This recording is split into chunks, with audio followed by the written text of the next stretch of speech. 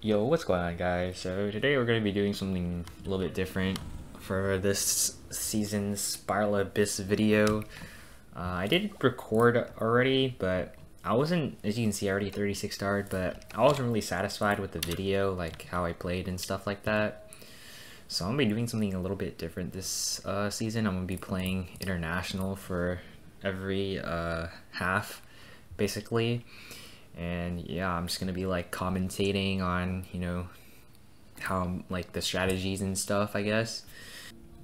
There's a wave of rune enemies in the early beginning that you want to burst down with Childe and depending on how invested your team is you may or may not be able to one-shot these rune enemies. And don't be afraid to use his melee stance burst because they drop a ton of energy so you don't need to be worried about not getting your burst back. After you kill them you want to transition over to these consecrated beasts and I wouldn't recommend that you go for a double swirl setup unless you can get the charge shot off uh, while they're still spawning in because these consecrated beasts are very aggressive and using your charge shot after they already like start moving around is sort of like a death sentence and there's only really like two situations where you want to go for a double swirl setup. Alright, so we're in the second half and it's really similar to the first half because you just have a first wave of enemies that you just nuke down really fast with Childe.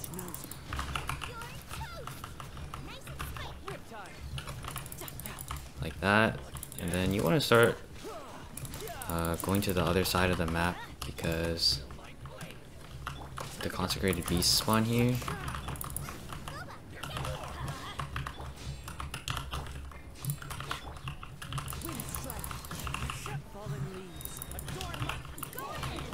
Yeah it's pretty self-explanatory. Just want to kill these two larger samurai at the same time because Otherwise they're going to go into their buff state, and you don't really want that to happen.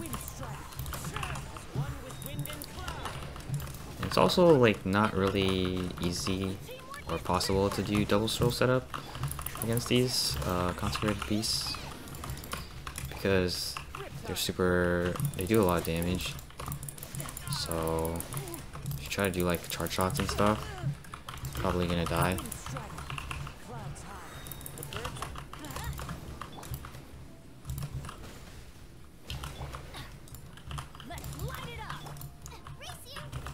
I'm just trying to get my burst back.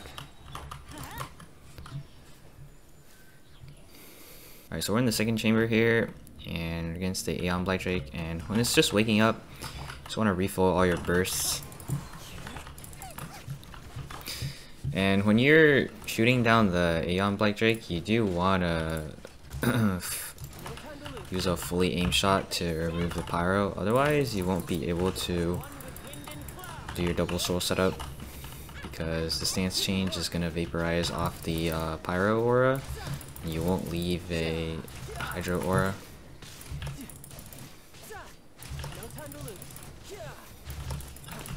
And you definitely don't want that because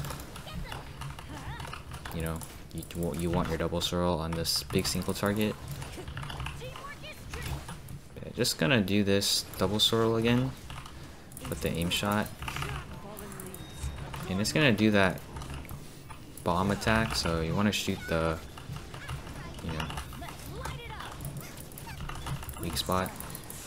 And you want to refill your bursts first before you start autoing on Childe. Okay, well I kind of messed up there, but you get what I mean. Hopefully. And yeah, just trying to get try to get your Childe burst back because it's important. Yeah, you can finish off the yeah, I'm like Drake after that. Alright, so in the second half, there's three of those new hilichurls, and they spawn like really uh, far away. And the way you want to group them together is you just want to run uh, furthest away from those two end, end ones. So the only one of them will spawn the um, the bubble got only one of them will spawn the bubbles. And the other two, you know, they're just gonna run to you. And after that, you can just, you know, start doing that. And they're all gonna die really relatively quickly. you can just get your burst back and stuff.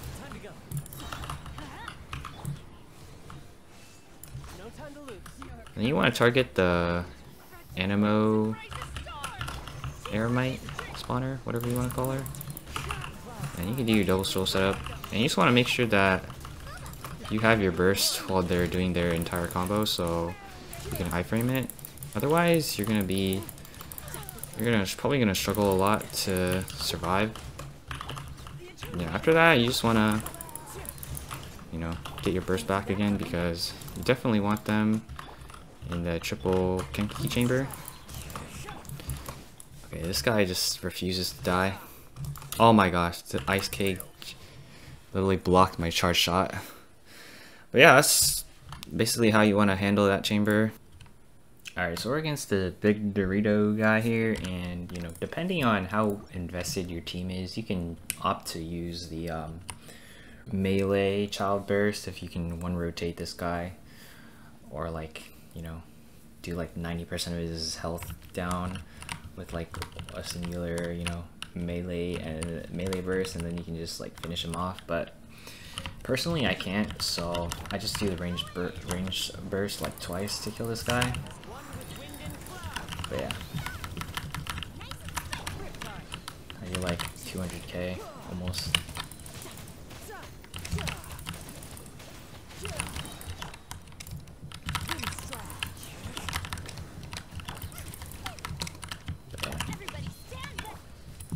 Gives you time to like do their setup because he doesn't he, he has like invisibility time so it doesn't really matter if uh,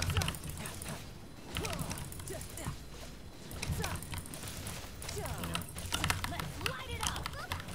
he is uh, you know not you're not able to get your full damage on him because you're you're not gonna be able to get your full damage on him anyways so why not just do your double swirl setup that consumes like more time, I guess. And yeah, just one shot him. No need to use my Xiangling and stuff. That just feels better to clap him with the melee burst, you know? Alright, so we're up against the Magu chamber. And there's two ways you can group them. You gotta use the Kazuha E at the beginning, or you can run all the way to the left, which I'm gonna do because, you know, more consistent, I guess you could say.